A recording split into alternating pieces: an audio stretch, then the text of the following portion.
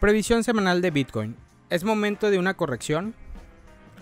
Mientras el precio cae, los fundamentales están anunciando la posibilidad de que un nuevo impulso comience en las próximas horas.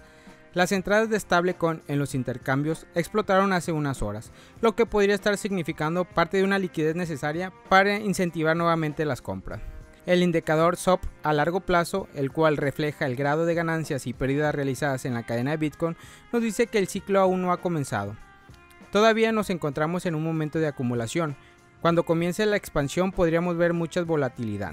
A pesar de que el precio en un máximo histórico puede incentivar muchas ventas, la realidad es que la inversión todavía espera mayores ganancias. Esto se refleja en la salida de Bitcoin de los intercambios cada vez mayores hacia billeteras en frío dispuestos para el holding a mediano o a largo plazo. En la gráfica diaria de Bitcoin observamos cómo el precio ha estado intentando mantener la zona de un soporte inmediato aledaña a los 60.000.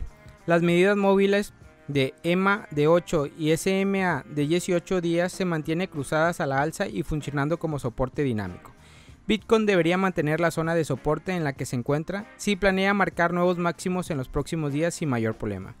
En caso de perderla, podríamos ver ventas hasta de los 57.471 dólares. Más abajo, el siguiente soporte está en los 55.315 dólares. De momento el escenario alcista es el más probable, no solo porque los toros todavía mantienen el control, sino también por los fundamentales positivos.